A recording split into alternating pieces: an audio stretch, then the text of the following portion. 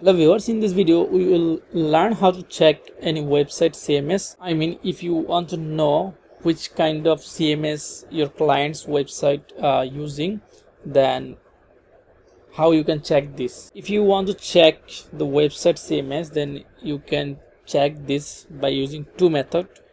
First method just go to the website and then click inspect element then go to sources then here you can see uh, WP admin or WP content and uh, mention the uh, CMS name like uh, Shopify, WordPress or any other CMS that your uh, client's website are using.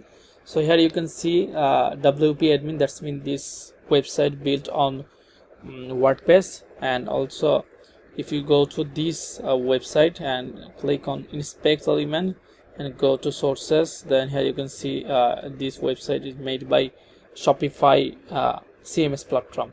And method number two, just copy the website link and go to this website called uh, whatcms.org. Then just copy the website URL, then paste it on website URL section, then detect CMS. Click on detect CMS then you can see uh, this website made by uh, Laravel and uh, Bootable CMS also uh, if we check this one here you can see I'm copying this.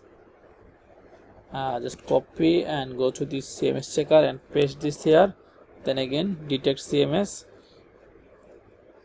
okay here you can see this website are using Shopify CMS and also this website using CDN I mean Cloudflare content delivery network also let's say I want to see uh, this website CMS just copy this link and go to the web what CMS checker then paste it and then click detect CMS this website is made by uh, WooCommerce and WordPress.